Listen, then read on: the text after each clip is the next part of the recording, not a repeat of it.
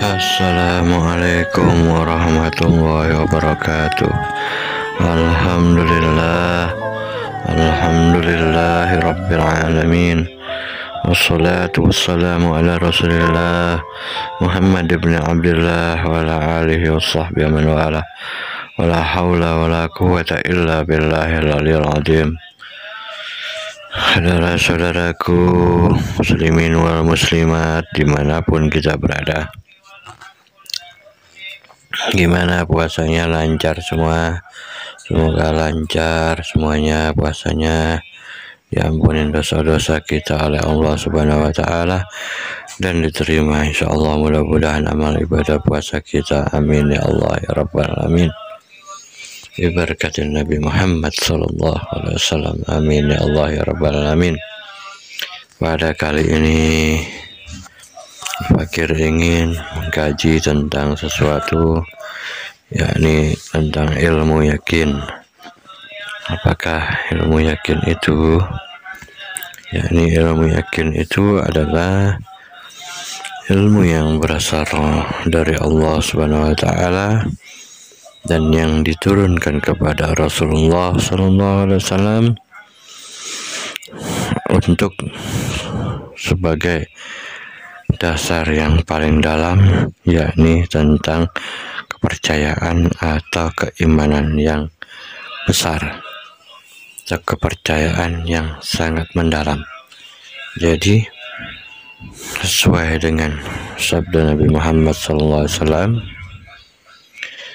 al-yakinu imanu kuluhu jadi keyakinan itu adalah keseluruhan dari iman Sedangkan arti dari iman itu sendiri adalah al-iman ma'rifatun biqalbi wa qawlu bil lisan wa rakanu bil arkan.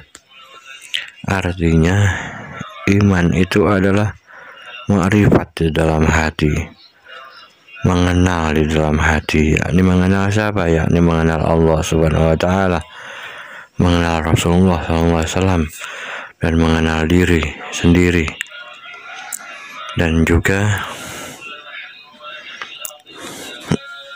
diucapkan dengan lisan ya dan dilakukan dengan perbuatan. Itulah yang disebut iman. Jadi apabila orang itu mencapai tingkat keyakinan yang tinggi maka dia disebutnya telah mempunyai iman yang tinggi pula iman yang besar pula maka daripada itu, untuk meyakinkan diri kita, kita harus suka membaca Al-Quranul Karim. Ya, yakni kalam Allah, wahyu, wahyu dari Allah Subhanahu wa taala. Kita harus baca, kita pahami ya dan kita amalkan dalam kehidupan sehari-hari dan juga hadis-hadis Rasulullah SAW kita baca, kita kaji ya, kita pahami dan kita amalkan setiap hari dalam kehidupan kita. Nah, contoh daripada ilmu yakin adalah seperti ini misalnya ya. Kita tidak lagi mengandalkan sebab akibat Misalnya apabila kita buka dagangan es, dagangan es kan biasanya orang minum saat terik matahari. Ya kita uh, pas waktu hujan kita tidak dagang es lagi. Itu namanya kita belum yakin. Kalau yakin kita kepada Allah Ta'ala dan Rasulnya, maka meskipun cuaca hujan, kita tetap buka dagangan es kita tersebut dengan istiqomah juga. Yakni kita yakin bahwasannya yang memberi rezeki itu adalah Allah Ta'ala.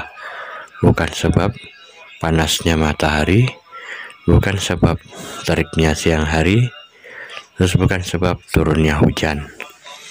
Jadi inilah yang harus kita pupuk yakni keyakinan kita kepada Allah Subhanahu wa taala yang maha pemberi rezeki, yang maha pembuka pintu rezeki, yang maha memberikan rezeki kepada kita, yang maha kaya Allah yang maha memberi kekayaan kepada hamba-hamba yang dikehendakinya. Nah lagi contoh-contoh daripada keyakinan kita misalnya dalam ibadah kepada Allah Subhanahu wa taala misalnya kita sedang mengambil air wudhu. Lalu kita merasa was-was ya.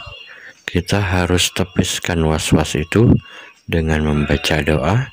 A'udzubillahiminasyaitonirrajim Bismillahirrahmanirrahim.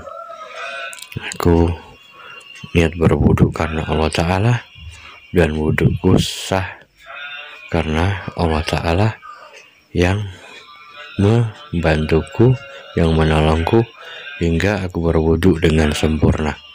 Kita harus yakin kepada Allah Subhanahu wa taala. Sehingga rasa was-was yang ditimbulkan dari setan tadi hilang sirna. Karena kita yakin kepada Allah Subhanahu wa taala yang menjaga, yang melindungi kita dari bisikan-bisikan setan yang terkutuk. Maka daripada itulah keyakinan-keyakinan kita ini harus kita gali, harus kita pupuk terus-menerus ya agar menjadi menjadi kuat